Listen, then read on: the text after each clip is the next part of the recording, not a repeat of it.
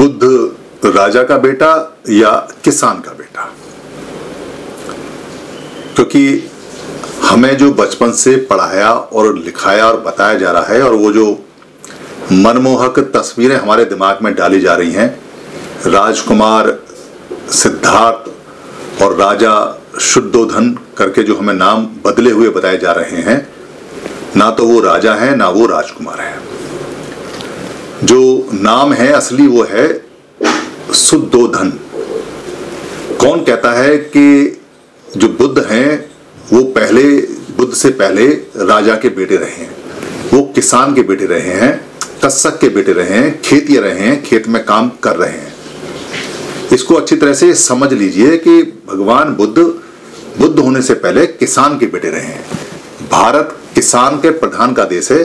किसान का बेटा बुद्ध बन जाए तो लोगों को जमा नहीं, झिला नहीं और उसको ज़बरदस्ती राजा का और राजकुमार का बेटा घोषित करके और किसानों से दूर करने की पूरी की पूरी कोशिश जिन लोगों ने की है, उन लोगों को पहचानी है कि क्यों उन्होंने नाम बदले और क्यों उन्होंने किसान के बेटे को राजा का बेटा कह के एक महल की, एक राजमहल की, एक राजकुमार की संरचना खड़ी कर दी चारों तरफ़। और कौन लोग हैं जो साहित्य से छेड़छाड़ कर रहे हैं?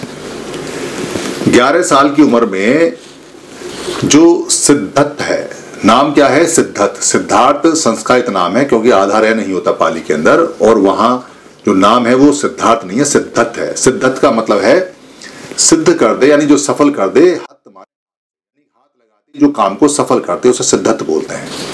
और पिता का नाम क्या है? शुद्धोदन, यानी शुद्ध ओदन। शुद्ध का मतलब होता है, शय नहीं है स शुद्ध है, शुद्ध ओदन। शुद्ध माने बिल्कुल साफ़, प्योर, और ओदन माने चावल। बेसिकली पके हुए चावल भी होते हैं, कच्चे चावल के लिए बोला जाता है। तो शुद्धोदन नाम है। और भाई का नाम क्या है? अमितोदन।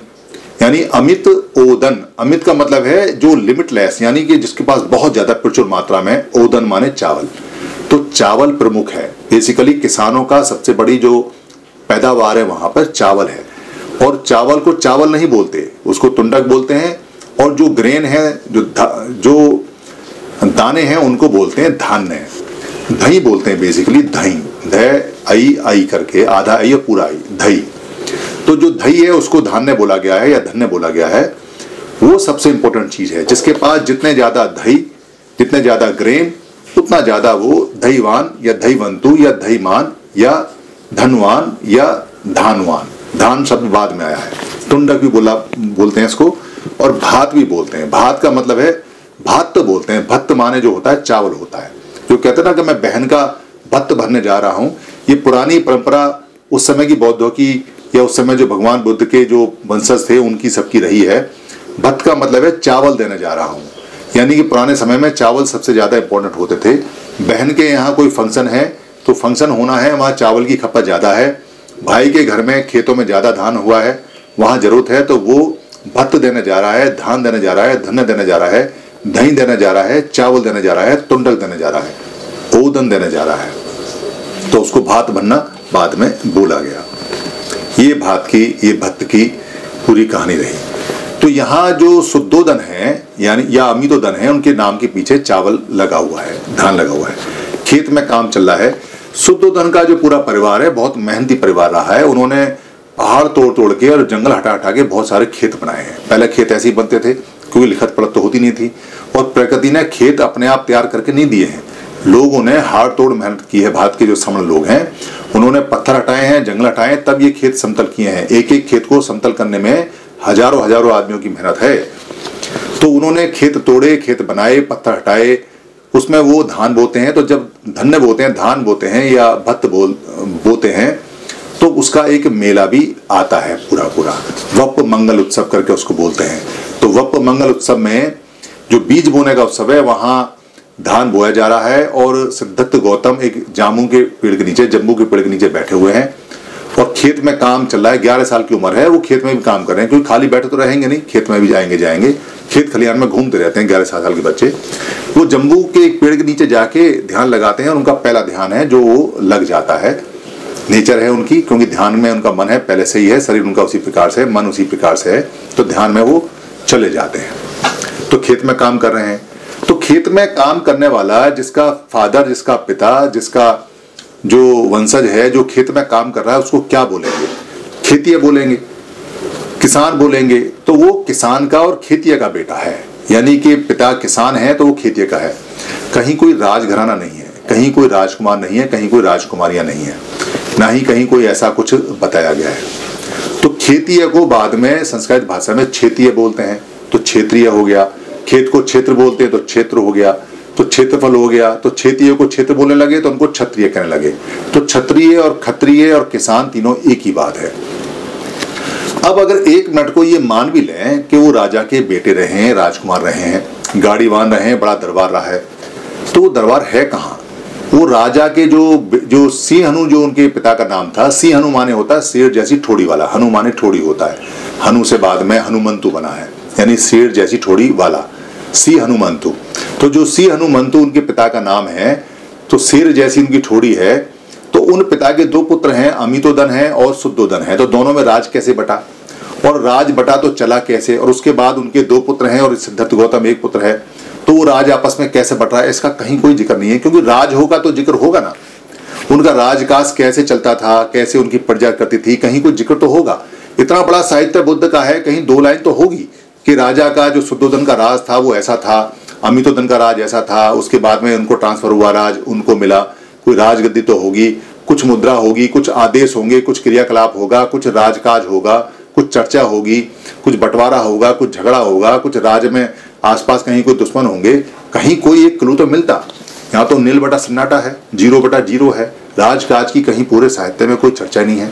तो ज़बरदस्ती राज बना दिया, ज़बरदस्ती राजकुमार बना दिया। आप किसान के बेटे को राजकुमार क्यों बनाना चाहते हैं?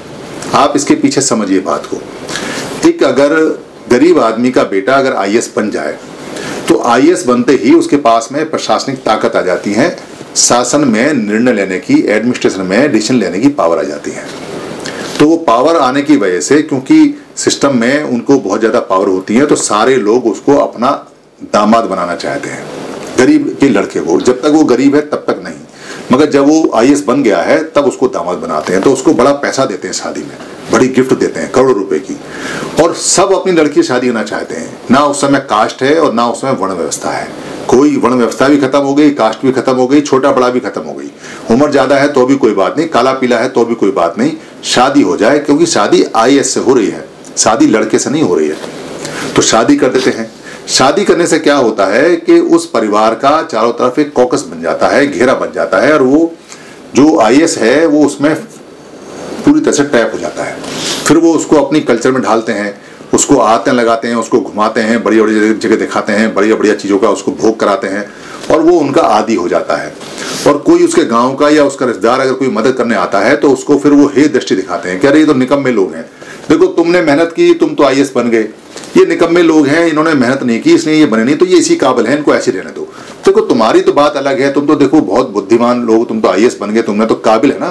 तो काबिल आदमी की इज़्ज़त होती है। देखो जो गाँव के तुम्हारे रिश्तेदार हैं, ये तुम्हारे लायक नहीं है अब। तुम्हारा स्टेटस कहाँ है? तुम जहाज़ में उठते हो, कार में चलते हो, नौकर चाकर तुम्हारे घर में आसपास हैं। ऐसा कर कर उसको उसके गाँव से और उसके पूरे मोहल्ले से कुनवे से, जहाँ उसको मदद करनी चाहिए, जहाँ से वो आया है, जहाँ से वो पला बड़ा है, वो कुछ नहीं कर पाता और वो उनका हो जाता है। और फिर उसके बच्चे भी गाँव में वापस नहीं जा पाते, उसके बच्चे भी जहाँ उसकी शादी होती है, उसी हिसाब से उसको ढाल लेते हैं। बच्चों में अलग तरह का व्यवहार आ जाता है और उसकी संपत्ति, उसकी एजुकेशन, उसकी शिक्षा और उसका पोस्ट, जो पोस्ट बाबा साहब की बदौलत मिली है, वो सारा का सारा समाज के काम ना आके वो इंडिविजुअल व्यक्तित्व के काम आ जाता है और वो आई समाज के लिए ज़ीरो हो जाता है, जिसका सपना बाबा साहब ने देखा। यही वो बात है जिससे जो किसान का बेटा बुद्ध है, उसको राजा का बेटा बनाया गया। क्योंकि राजा का बेटा बनेगा तो उसको राजघरानी की तरह ट्रीट करेंगे दिमाग में लोग।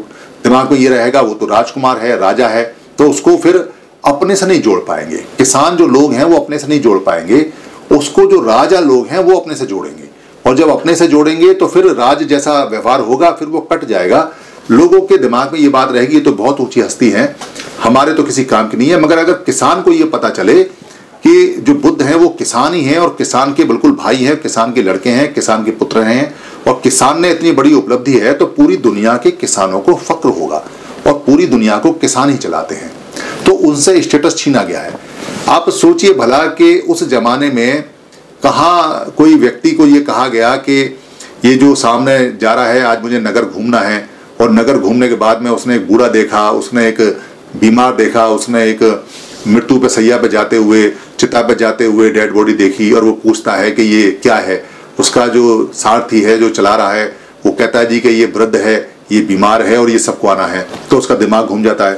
भाई, ग्यारह साल की उम्र में तो वो अपने खेत में काम कर रहा है तो क्या आँख बंद करके काम कर रहा है? क्या उसने आँख पे पट्टी लगा रखी है? क्या उस जमाने में काले चश्मे थे कि चश्मा लगा के वो मेडिटेशन कर रहा है? भाई, जब वो कर रहा है तो उसको पता नहीं है कि व्यवहार कैसे चल रहा है, कैसे चल रहा है क्या उसका पिता बूढ़ा नहीं हुआ? या जो उसका चाचा था या उसका दादा था बूढ़ा नहीं हुआ? या उसकी जो घर में महिला रही है, वो बूढ़ी नहीं हुई? क्या 24 घंटे बाँध के रखते थे, आँखों पर पट्टी लगा के और चश्मा लगा काला के तुझे बाहर का नहीं देखना है? पहली बार बाहर का जाएगा तभी देखेगा। तो कुछ तो सोचो भाई। थोड़ा तो बुद्धि का इस्तेमाल करो। एक गाँव है कबीला है, एक कपिल वस्तु है, उसमें सब लोग मिलना जुलना है। किसी घर बच्चा पैदा होता है तो खूब थालियाँ बढ़ती हैं, खूब खाना होता है, खूब दावत होती हैं। बच्चा आँख खोलता है तो सबसे पहले आसपास के माहौल को देखता है। बच्चा रुकता कहाँ है अपने घर में? और सिद्धार्थ जैसा बच्चा जो इतना गंभीर रहा है शुरू से, जो 11 साल की उम्र में मेडिटेशन के लिए, विपसना के लिए, साधना के लिए बैठ जा, जाता हो, वो कैसे नहीं जानेगा दुनिया को? अभी तो दुनिया को बहुत कुछ खोजना है। शुरू से जिज्ञासा होगी, शुरू से जिज्ञासु होगा, शुरू से प्रश्न पूछेगा तभी तो आगे खोज करेगा।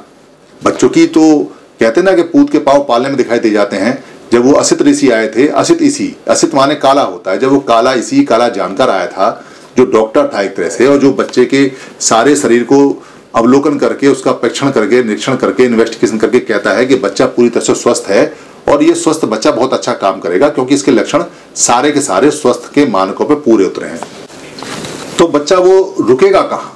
वो तो चलेगा, वो तो दुनिया देखेगा, क्योंकि दुनिया देखने के लिए तो उसमें लक्षण है सारे सारे इसलिए कुछ बातें क्योंकि आप धर्म को फॉलो कर रहे हैं, धर्म को देख रहे हैं तो पुरानी बातें जिन्होंने बनाई हैं, अपने हिसाब से बनाई हैं।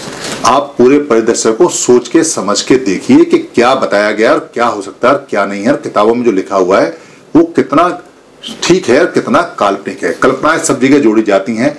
लोग लिखते समय अपनी बातें उसमें जोड़ देते हैं। उसको देखना, समझना बहुत ज़रूरी है। बुद्ध ने तो दुनिया की आँख खोली है। बुद्ध ने तो सारी दुनिया में, कितने दुनिया के लोग मानने वाले बुद्ध को, जो जो किसी को नहीं मानता, वो बुद्ध की फिलोसफी को मानता है। वो सबकी आँख खोलने वाला है, वो दुनिया नहीं देखेगा, कितना बड़ा मज़ाक है, कितनी बड़ी बात है, वो तो सबसे पहले देखेगा। तो इसलिए इस मिथक को दिमाग से निकाल दीजिए कि बुद्ध राजा के बेटे रहे हैं, या राजकुमार रहे हैं, या उनका कोई दरबार रहा है, ये सब बेकार है। जैसे वो देवदत्त की जो कहानी है, वो बिल्कुल झूठी है कि वो बीच में ऐसा हो सकता है कि हंस का उड़ा हो, उसने मारा हो, आया हो और हंस बचाने वाले पास जाएगा, ये नेचुरल है। मगर कोई राज दरबार नहीं है। कोई ऐसा दरबार नहीं है कि जहाँ सहनसा बैठे हुए हैं, आलम बैठे हुए हैं और वहाँ सजा हुआ है। ऐसा कुछ नहीं है। धन्यवाद। आप सभी से ये निवेदन है कि अगर आपको ये वीडियो अच्छी लगती है या बाकी वीडियो अच्छी लगी हैं और आपको लगता है कि धर्म की वीडियो किसी को और मिलनी चाहिए या किसी को गिफ्ट में भेजनी चाहिए या किसी भाषा में कन्वर्ट करके आगे बढ़ानी चाहिए, या प्रिंट में, किताब में छापनी चाहिए, या इसकी जो ऑडियो है उसे निकाल के भेजना चाहिए, या इसका किसी पार्ट को इस्तेमाल करना चाहिए तो आपको लिबर्टी है, आपको छूट है। ये सभी कॉपीराइट फ्री हैं। आप अपने फेसबुक पे, अपने पेज पे, अपने ट्विटर पे, या अपने हैंडल पे, या लिंक को कहीं भी शेयर कर सकते हैं, कहीं भी चला सकते हैं। आप यूट्यूब पे भी चला सकते हैं, अपने नाम से चला सकते हैं। इसके लिए इजाज़त लेने की या परमिशन लेने की बिल्कुल भी ज़रूरत नहीं है। आप इसको अपना मान के चलाएँ, क्योंकि धम्म सबका है। हम जो बताते हैं, वो भगवान बुद्ध का है या महापुरुषों का है। उन्हीं की बात को सरल भाषा में बताते हैं। हमारा सिर्फ़ इतना राइट है इस पर कि हम इसको लोड कर देते हैं। बाकी सारी ये पूंजी आपकी है। धन्यवाद।